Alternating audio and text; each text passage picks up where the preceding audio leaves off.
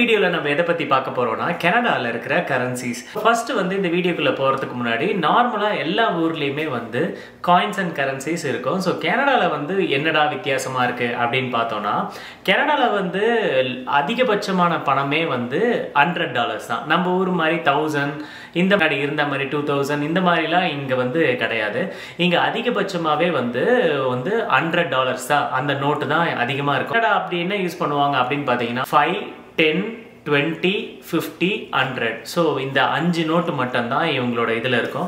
இப்போதைக்கு என் கையில் வந்து ஒரு டுவெண்ட்டி டாலர்ஸ் நோட் இருக்குது ஸோ இதுதான் வந்து அந்த டுவெண்ட்டி டாலர்ஸ் நோட்டு இப்படி தான் இருக்கும் டுவெண்ட்டி டாலர்ஸ் நோட்டு ஸோ இப்போ ரீசெண்டாக இறந்து போனாங்களே அந்த எலிசபெத் குயின் டூ அவங்களோட இது இருக்கும். ஸோ கனடா அவங்க கண்ட்ரோலில் இருக்கிறதுனால இந்த நோட்டில் வந்து அவங்களோட இது இருக்கும்.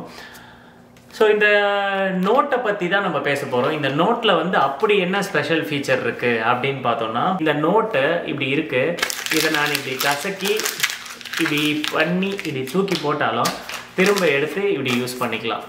ஸோ இது வந்து க்ரஷ் ஃப்ரீ ஏன்னா இது வந்து ஒரு பாலிமரில் செஞ்ச ஒரு நோட் ஸோ இது வந்து கிட்டத்தட்ட ஒரு பிளாஸ்டிக் பாலிமர் மிக்ஸ்டு அதனால இதை வந்து என்ன வேணால் பண்ணிக்கலாம். இப்படி இப்படி இப்படி இப்படி பண்ணி பண்ணி இப்படி தூக்கி போட்டுடலாம். ஸோ ஒன்றும் ஆகாது. இது வந்து இந்த நோட்டோட ஃபஸ்ட்டு ஸ்பெஷல் ஃபீச்சர் ரெண்டாவது பார்த்தீங்கன்னா இதை நான் வாயில் சொல்ல முடியாது. உங்களுக்கு செஞ்சே காமிக்கிறேன். செஞ்சு காமிக்கிறேன்னு சொன்னேன். ஸோ ஒரு கிளாஸில் தண்ணி எடுத்துட்டு இந்த நோட்டை எடுத்து இதில் நான் போட்டு முக்கி எடுத்து இதுலையே ஊற வச்சு ஒரு வாரம் வச்சாலும் இது ஒன்றுமே ஆகாது.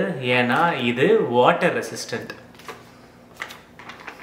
பார்த்தீங்களா இது வாட்டர் ரெசிஸ்டன்ட் கிட்டத்தட்ட பிளாஸ்டிக்னால பிளாஸ்டிக்னாலே வாட்டர் ரெசிஸ்டன்ட் தானே இருக்கும்.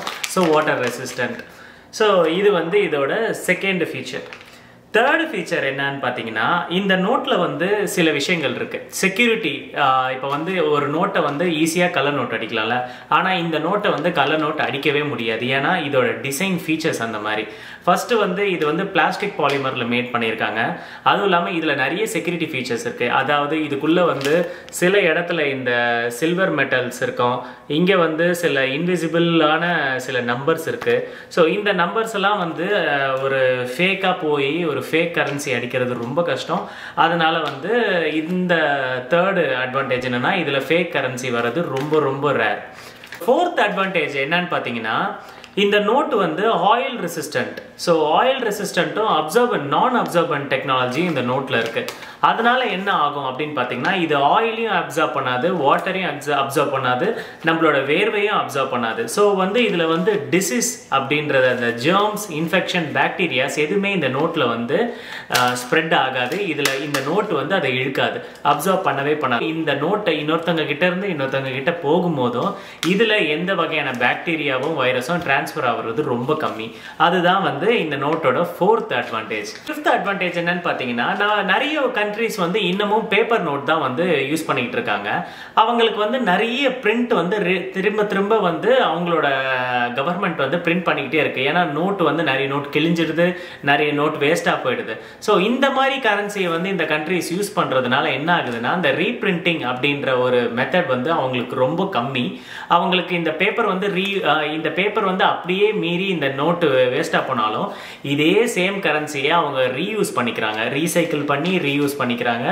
பிரிண்ட் பண்ணுற கேப்புமே வந்து ரொம்ப கம்மி. இப்போ டூ இயர்ஸில் ஒரு கண்ட்ரி வந்து இந்த மாதிரி நோட்ஸை பிரிண்ட் பண்ணுறாங்க கிழிஞ்சு போயிடுச்சு டேமேஜ் ஆயிடுச்சுன்னு பிரிண்ட் பண்ணுறாங்கன்னா இவங்க வந்து பிரிண்ட் பண்ணுற ரீப்ரிண்ட் பண்ணுற அந்த டைம் வந்து டியூரேஷன் வந்து ரொம்ப அதிகம். ஸோ இதுதான் வந்து ஃபைவ் சூப்பரான விஷயம் கனடாவோட கரன்சி படி.